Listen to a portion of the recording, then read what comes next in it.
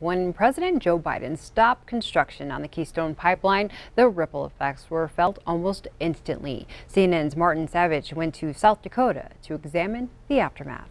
I'm going to sign you, and that's what we do while you're all here.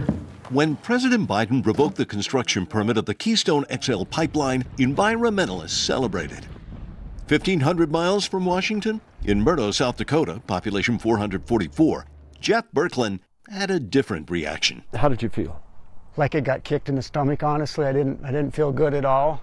He's the CEO of a tiny electric cooperative with a big opportunity, building two substations providing power to two of the pipeline's pumping stations. And each one of those would generate how much financially for you? Roughly half a million dollars a month. This for a company that has only seen 99 new customers in 30 years. The profits would have all gone back to the co op's 3,700 members roughly our members on average would have received about a $325 credit annually. That, that would be theirs. Additionally, he says tens of thousands of tax dollars would have trickled down to the local school district and its 190 students. But all that vanished with the stroke of a presidential pen. In Philip, South Dakota, population 779, Tricia Burns and her husband had just invested their own money expanding Ignite, a fitness center hoping to make a little extra from the pipeline workers coming to town. So, you know, the old saying, you got to make hay when the sun shines, and we felt like the sun was going to be shining and we needed to take advantage of that. She watched Biden's inauguration on television. And then the executive order started coming in. And um, when he signed the bill to pull the permit, it was a tough, tough moment here at Ignite. By midnight, she says, 45 members had called to cancel memberships.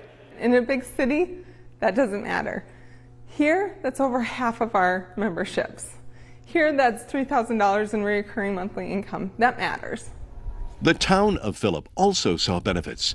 TC Energy, the pipeline's owner, contributed money towards a new fire truck, new sidewalks, even local sports. Construction crews spent money at local stores. Biden's opposition to the project wasn't a surprise. How fast everything stopped was. Everything had been signed, sealed, delivered, and that was all taken away in an instant. TC Energy estimates nearly a thousand employees have been laid off. There's all this money invested into this and all these jobs that people are basically promised, and then the president can just sign a executive order and shut it all down, you know? No one we talk to seems to know what comes next. TC Energy hasn't replied to our request for comment, but has said it was disappointed by President Biden's decision. Environmentalists had argued the pipeline and the oil would have added to climate change and feared damage to water and wildlife where the pipeline went through. But stopping the pipeline has problems of its own, like what happens to the land that was already bought. Another concern what do you do with all the stuff? Pipeline assets are spread across hundreds of miles, much of it now just stranded. Pumping stations, construction camps, and piles of pipe sit vacant and marooned. Many here saw the pipeline as a chance to do better. Now its remnants litter the landscape, haunting reminders of what might have been.